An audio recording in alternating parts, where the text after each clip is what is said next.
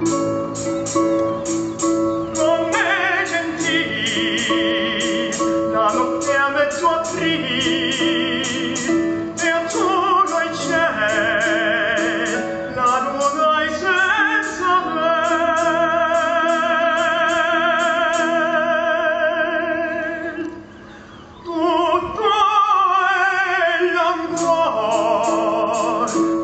mistero amor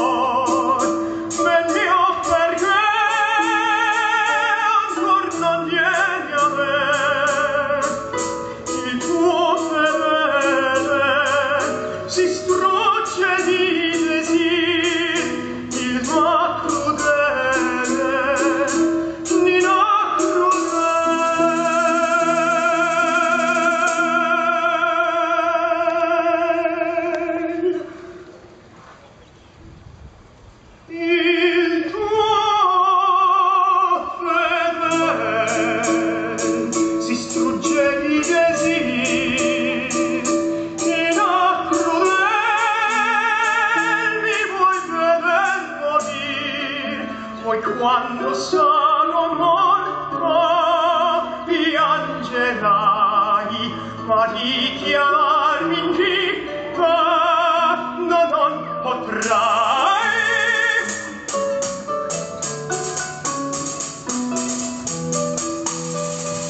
Ma richiamarmi